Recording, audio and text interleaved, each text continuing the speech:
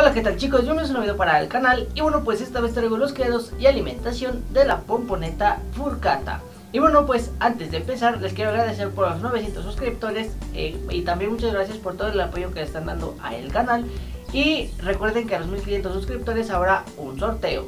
Y bueno pues ahora sí vamos con el video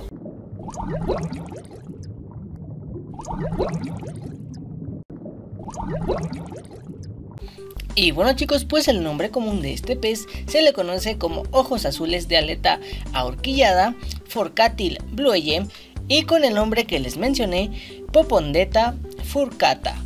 En cuanto a su forma, es ligeramente comprimida y alargada. Destaca el tamaño de la aleta caudal y la posición de las aletas pectorales, muy elevadas, lo que junto a su coloración dan la impresión de antenas. En cuanto a su coloración, tiene un amarillo verdoso o azulado en ambos sexos, con el cuerpo bastante traslúcido, a excepción de la zona de la cabeza, garganta y el vientre.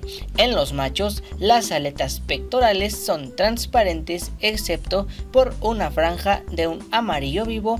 Las dos dorsales tienen tienen un degradado de azul oscuro translúcido en la base a amarillo, estando la primera de ellas ribeteada de un amarillo más intenso. La caudal es amarilla pero tiene los bordes ribeteados con azul oscuro y un triángulo isósceles azul oscuro translúcido, lo que da el nombre de inglés forktail en español cola bifurcada.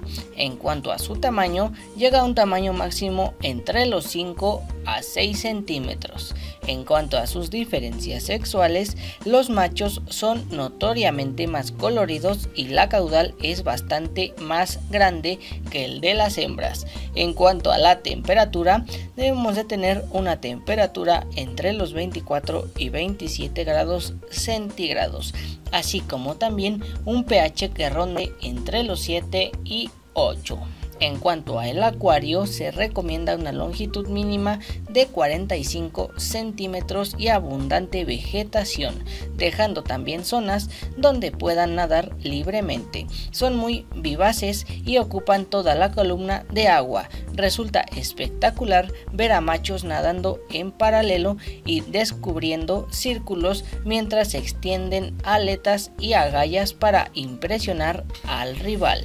En cuanto a su alimentación, les gustan los insectos terrestres y acuáticos, así como larvas, crustáceos y copepodos. En cautividad aceptan todo tipo de comida. Es importante que sea variada debemos de darle 40% de insectos terrestres, 37% de pequeños crustáceos acuáticos y 18% de insectos acuáticos y un 5% de algas y darle lo menos posible hojuelas. En cuanto a su comportamiento, los machos pueden ser un poco agresivos, se recomienda tener más hembras que machos. En cuanto a su esperanza de vida, en condiciones óptimas pueden vivir 4 años o más en libertad, la mayoría no pasan del año las hembras y 2 años los machos.